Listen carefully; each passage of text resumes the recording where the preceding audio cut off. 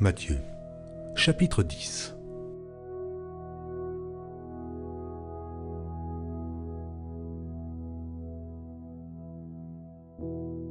Puis, ayant appelé ses douze disciples, il leur donna le pouvoir de chasser les esprits impurs et de guérir toute maladie et toute infirmité.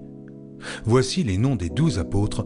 Le premier, Simon, appelé Pierre, et André son frère, Jacques, fils de Zébédée, et Jean, son frère. Philippe et Barthélemy, Thomas et Matthieu le publicain, Jacques, fils d'Alphée, et Thaddée. Simon, le cananite, et Judas l'Iscario, celui qui livra Jésus. Tels sont les douze que Jésus envoya après leur avoir donné les instructions suivantes. N'allez pas vers les païens, et n'entrez pas dans les villes des Samaritains. Allez plutôt vers les brebis perdues de la maison d'Israël.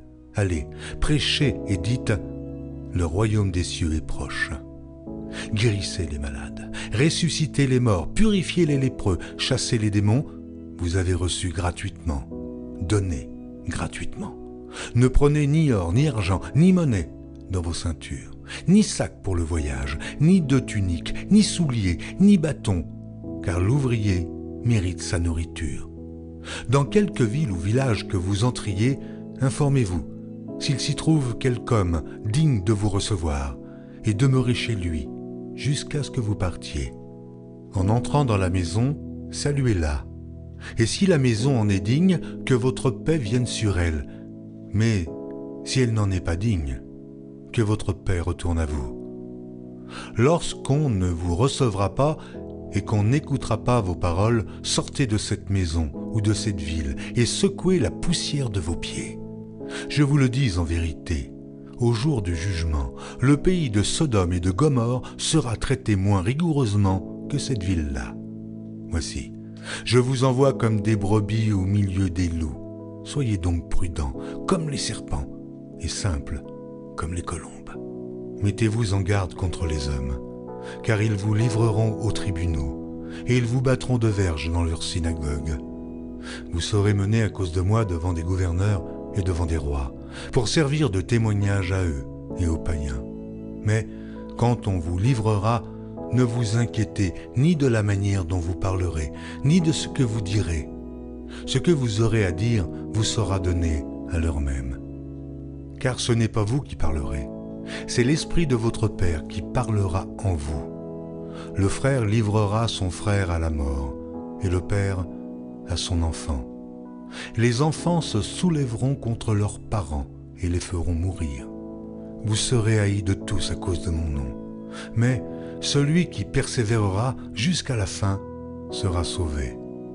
Quand on vous persécutera dans une ville, fuyez dans une autre. Je vous le dis en vérité, vous n'aurez pas achevé de parcourir les villes d'Israël que le Fils de l'homme sera venu. Le disciple n'est pas plus que le maître, ni le serviteur plus que son Seigneur. Il suffit au disciple d'être traité comme son maître, et au serviteur comme son Seigneur.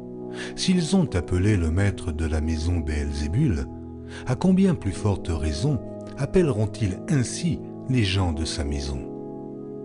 Ne les craignez donc point, car il n'y a rien de caché qui ne doive être découvert, ni de secret qui ne doive être connu. Ce que je vous dis dans les ténèbres, dites-le en plein jour, et ce qui vous est dit à l'oreille, prêchez-le sur les toits. Ne craignez pas ceux qui tuent le corps et qui ne peuvent tuer l'âme Craignez plutôt celui qui peut faire périr l'âme et le corps dans la géhenne. Ne vend-on pas deux passereaux pour un sou Cependant, il n'en tombe pas un à terre sans la volonté de votre Père. Et même les cheveux de votre tête sont tous comptés. Ne craignez donc point. Vous valez plus que beaucoup de passereaux. C'est pourquoi quiconque me confessera devant les hommes, je le confesserai aussi devant mon Père qui est dans les cieux. Mais quiconque me reniera devant les hommes, je le renierai aussi devant mon Père qui est dans les cieux. Ne croyez pas que je sois venu apporter la paix sur la terre. Je ne suis pas venu apporter la paix, mais l'épée. Car je suis venu mettre la division entre l'homme et son père, entre la fille et sa mère, entre la belle-fille et sa belle-mère. Et l'homme aura pour ennemi les gens de sa maison. Celui qui aime son père ou sa mère plus que moi n'est pas digne de moi, et celui qui aime son fils ou sa fille plus que moi n'est pas digne de moi. Celui qui ne prend pas sa croix et ne me suit pas n'est pas digne de moi. Celui qui conservera sa vie la perdra, et celui qui perdra sa vie à cause de moi la retrouvera. Celui qui vous reçoit me reçoit, et celui qui me reçoit reçoit celui qui m'a envoyé.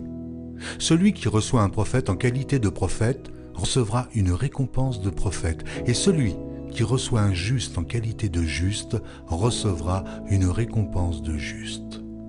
Et quiconque donnera seulement un verre d'eau froide à l'un de ses plus petits parce qu'il est mon disciple, je vous le dis en vérité, il ne perdra point sa récompense.